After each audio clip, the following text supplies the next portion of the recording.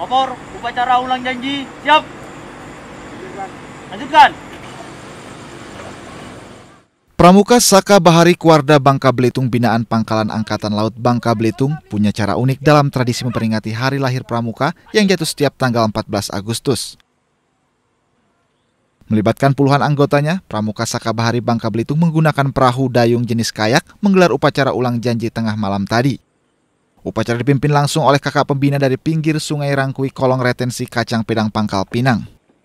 Obor yang dinyalakan oleh kakak pemimpin upacara lalu dibawa ke tengah sungai. Di sini, para anggota Pramuka Saka Bahari menyalakan sejumlah obor dan membentuk formasi seperti angka nol.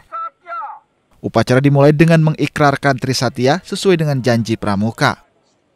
Kegiatan ini dilaksanakan di bawah jembatan ke-12 Kota Pangkal Pinang dengan jumlah personil 20 orang menggunakan 10 kayak, 2 instruktur dan pimpinan saka. Hari yang sangat sakral bagi gerakan pramuka eh, merupakan hari ulang tahun gerakan pramuka yang lahir di tanggal 14 Agustus 1961.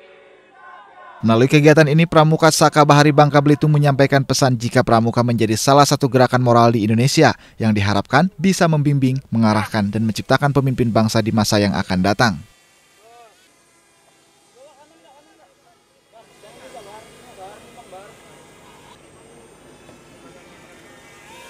Oke. Good job. Well done. Well done.